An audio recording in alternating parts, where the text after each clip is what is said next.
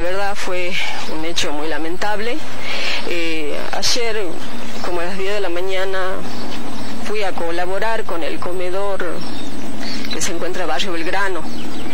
Eh, Jesús Pan de Vida eh, había llevado un peluquero para que corte el pelo a los chicos ahí del comedor.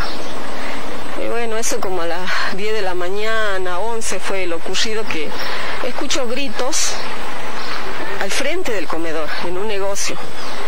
Cuando escuché los gritos, este, saco la cabeza y me fijo, estaba una pareja con un bebé.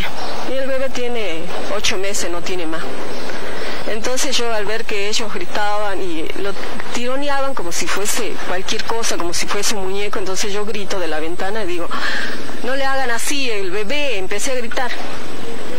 Como no paraba, yo creo, como mamá y como, como es debido de, tenía que ir, porque no me iba a quedar así. Cuando yo llego a ese lugar, eh, la madre estaba muy alcoholizada y la verdad eh, tenía también los ojos muy rojos, estaba muy perdida, no reaccionaba, estaba muy agresiva. El padre no tanto. Eh, en un momento, yo me meto, la madre me dice, no te metas, ¿qué te metes vos? Y le digo yo, ¿cómo no me voy a meter si está tu hijo ahí? Le digo. Entonces me dice ella así, él sabe que yo no quería ese bebé. Él sabe, pues yo lo voy a cagar matando. Disculpame la expresión, pero fueron las palabras que ella dijo. Lo voy a cagar matando, lo voy a tirar al canal. Vos sabés. Yo al escuchar eso dije yo, esta no está jugando. Entonces agarró, sacó de acá de la cintura, sacó un cuchillo, cuchillo y hizo dos, dos veces, dos veces el intento. Como el muchacho era más alto, hizo dos veces un intento para cortarle y después ella le pegó una piña acá en el... Lo único que yo hice reaccionar es poner mi mano y cubrirle la cara al bebé, porque el muchacho la tenía en el brazo izquierdo. Entonces yo lo tapé al bebé y ahí este, fue fatal porque el muchacho también se dio cuenta que iba a ser lastimado. Entonces él agarró, no sé qué, le empujó, se fue corriendo, corrió un trecho, ella también, y yo por detrás. Yo pidiendo, porque había gente que estaba mirando, que alguien me ayude. Y no, yo creo que hoy, la verdad, están más para filmar, están más para, para burlarse, y eso es lo que a mí me dolió. Entonces yo la seguí, y doy gracias a Dios que la seguí en una esquina, ella logra alcanzarlo al, que era el marido supuestamente, y este, se me hace que volvió a sacar el cuchillo. Yo no vi cómo, pero la cosa que le quita el bebé, la chica. Cuando le quita, el muchacho se va corriendo, se pierde. Yo no sabía por qué le dejó con el bebé. Entonces yo la seguí, seguía por atrás, encima estaba lloviendo yo con sandalias y pidiendo que me ayude, que llamen a la policía. Y bueno, después este, cuando llegó un trecho a, media cuadra, había un charco de agua, frente de un bloquero era. Ella lo, envolvió como si fuese un, como si fuese un, sé yo, un objeto, algo al bebé, y, y quiso meterlo, ahogarlo en un charco de agua. Lo único que logró fue mojarle la parte de, de la colchita tenía una colchita celeste. El bebé en todo momento lloraba, el bebé sabía en todo momento el peligro que corría. Bueno, ahí reaccioné. Ahí reaccioné porque yo digo, bueno, fue el momento justo que estuve ahí, llegué, corrí.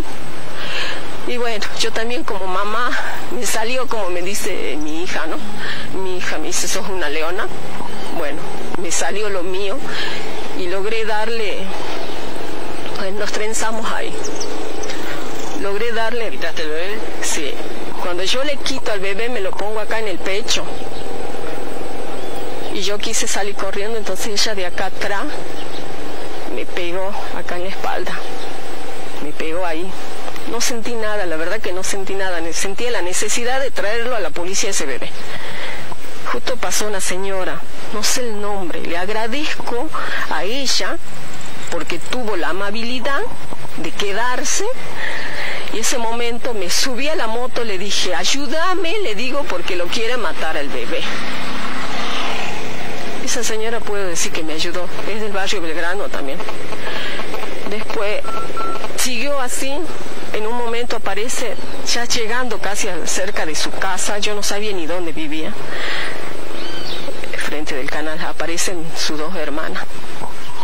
Y ahí este también la agarraron a ella y le dijeron, ¿qué pensás hacer con el bebé? ¿Qué hace? Y otra vez volvimos a, a como con el bebé, a pelear por el bebé. Otra vez la reacción esa de que ella quería volver a quitarlo y otra vez tironear y así. Ese, ese bebé sufrió lo peor. Lo ¿Y dónde está el chiquito ahora?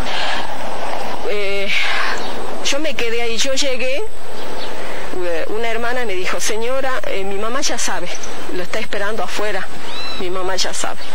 Frente del, del canal, llega, apenas llegué yo le dije a la madre, yo le dejo acá su- al bebé, usted y vos le dije te haces responsable si le llega a pasar algo. Yo me voy a quedar acá hasta que venga la policía. Entonces, este, la madre, todo, con todo esto, se desmayó. Después llegaron los policías, la llevaron. Ella quedó detenida. Y el bebé, este, lo ¿El bebé está trajeron. Gracias a Dios está bien. Porque gracias a Dios. Y así que, bueno, después viene Ah, todo que andar papeles. con todos los papeles, las denuncias ahora. Y bueno, lo importante es que salga el bebé. Sí, la, la verdad es lamentable. Eh, pero estoy muy dolida, estoy muy triste porque yo creo que cuando vemos esta clase de situaciones tendríamos que ser un poco más solidarios. ¿La gente no te colaboraba, no te ayudó? No, todos decían no, que no me daba no- no te cuenta. metas. No, ¿qué es esto? No te metas. Yo puedo dormir ahora con la conciencia tranquila y decir que bueno, hice lo que correspondía como mamá, como docente, hice lo que tenía que hacer y estoy tranquila, ¿no? Bueno, a pesar de que no, no quedé muy bien, pero bueno, eso es secundario.